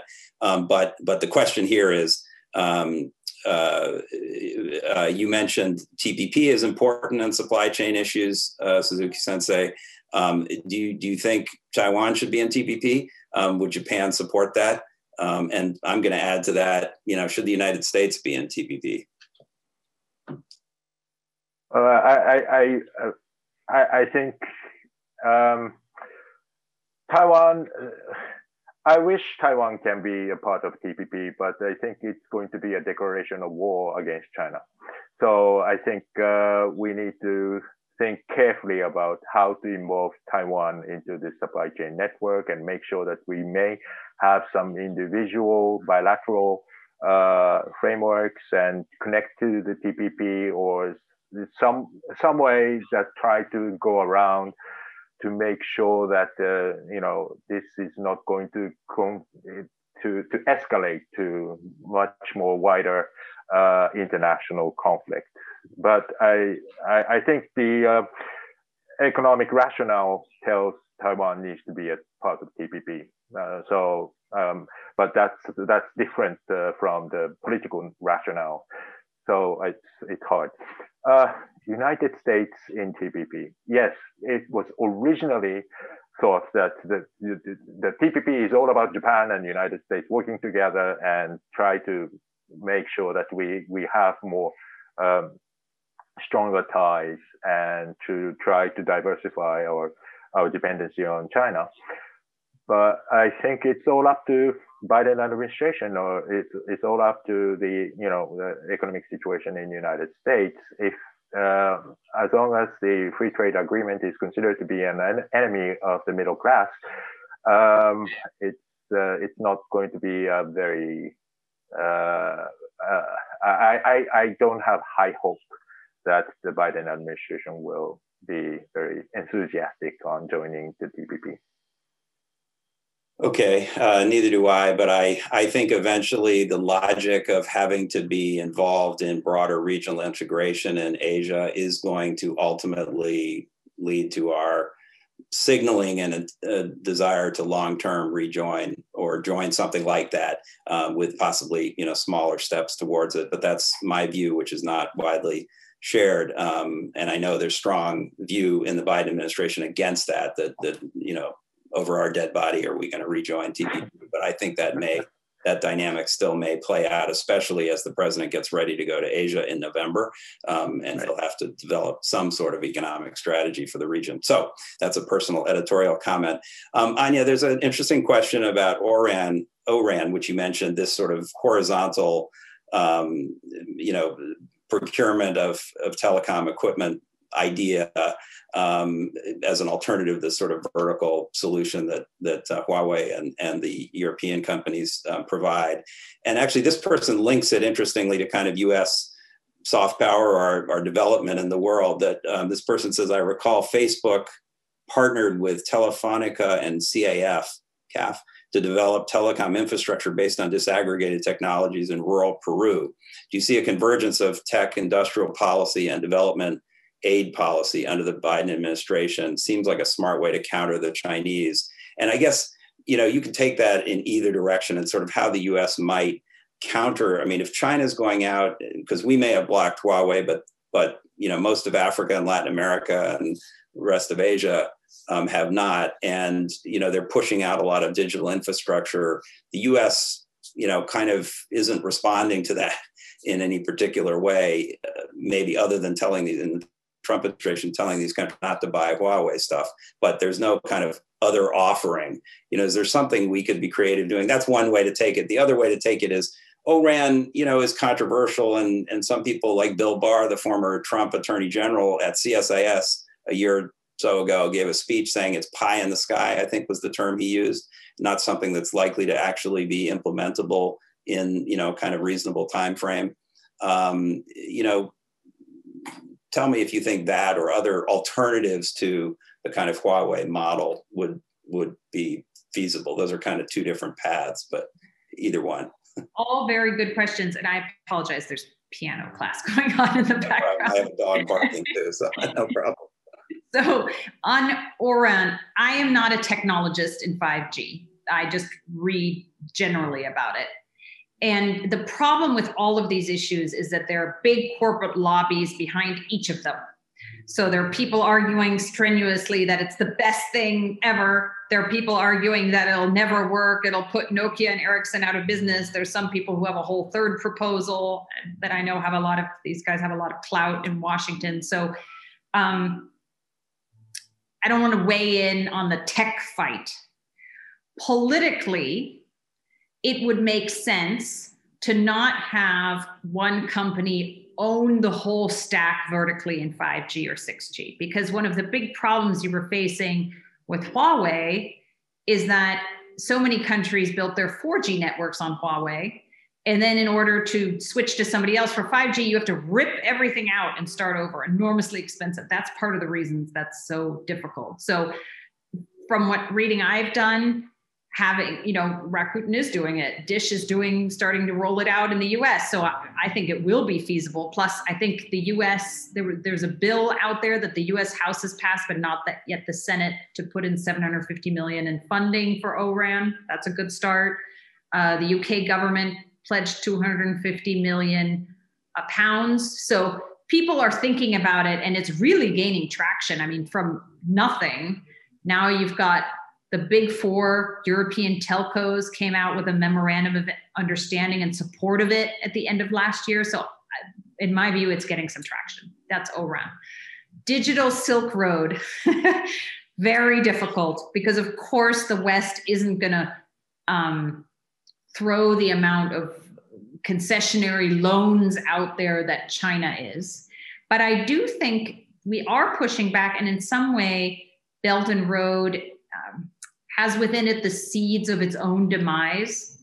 More and more, you know, if you went to South Africa, Latin America, other places five years ago, everybody wanted to talk about China and their largesse in terms of infrastructure, including digital. Now people are more skeptical. And so I think just sticking to it's old fashioned and it's slow but promoting Western values of openness and not being owned by a particular company or country on the digital Silk Road, I think will go a long way towards ameliorating what the Chinese are doing. Not everywhere, obviously, not with the authoritarians. Thanks. Okay, in the shameless advertising department, let me say that in the economics program at CSIS, we have an initiative called Reconnecting Asia. And my colleague John Hillman, who directs that, is taking that into the sort of digital infrastructure space and really doing a lot of work. He's writing a book on this. And, and so I commend to you reconnectingasia.csis.org. End of advertisement. So, um, I'm going to ask you, because we've only got one minute left, each to give one minute of, of roundup um, thoughts, anything that we didn't touch on or that you'd like to say to emphasize anything you did say. So I'll start with Suzuki san, and then I'm going to throw in a kicker uh, for you, Suzuki san, because we never answered the Olympics question. Do you think Japan is going to go forward with the Tokyo Olympics, and should it go forward uh, with the Olympics? Yes or no? Um, should, no. Um, I, I think it's uh, we are way past the, the time limits, and I think it's. Uh, uh, I mean, uh, the controlling the pandemic is is uh, is the best way of controlling pandemics is to, to control the uh, the flow of hum, human tra- the human movement. So, I think um, Olympic is going to be the super spreader uh, event uh, uh, unless we have the you know the, we have the miracle and the, everyone has a vaccine in all over the world. Um, uh, the last point that I like to make is that I, I, I think uh, uh, the bringing Europe is is extremely important. I think you mentioned in the, um, Anya's question, bringing Europe is extremely important. They have been emphasizing this European autonomy because of the Trump administration. You know, there are lots of uh, unilateral uh, imposition of the um, U- U.S. policies on on Europe, and that has been the problem. And they are reviving this uh, European autonomy issue. But I, I think um, the Biden administration will be able to mend it, and you know, to, to have some massage on the, on the European shoulders. And I think there will be uh, more chances for the Japan, US, and Europe uh, to get an alliance on the tech issue as well as the market and commerce issue. Terrific. Thank you, uh, Suzuki Sensei. Anya, any final thoughts? Sure. China is an impressive innovation power, but they haven't caught up yet and they are not 10 feet tall. We do not need to emulate them for the reasons discussed in the in the first panel. Uh, but we do need to get our own house in order in the United States. We've been resting on our laurels for too long. We're no longer solidly in the lead in all the technologies that matter. And there are such great low hanging fruit of things we can do together with Japan from joint basic research, joint standards, everything we've been talking about today. So I look forward to working with my Japanese friends on those. Terrific. What a great benediction. A nice way to end. Um, uh, uh, good, um, good um, thought and spirit. Appreciate that. Thank you both, uh, Suzuki Sensei, Anya, for terrific insights. We could have gone on for hours. Thank you to our audience for staying up late, especially here in Washington, and to our friends in Japan and elsewhere for, for staying with us. Um, really rich conversation. I think um, a lot of us are doing work on various aspects of these issues and are happy, I think, if I can say on behalf of all of our speakers, um, to follow up uh, individually on, on any of these topics. Um, and um, thank you all again. Have a good night here. Have a good day in Japan. And we'll, uh, and thank you to JIIA and Sasae San for partnering with us on this. With that, I will close the proceedings. Thank you so much. Thank you for having us. Bye bye. Thank you. Bye bye. Thank you, Mark.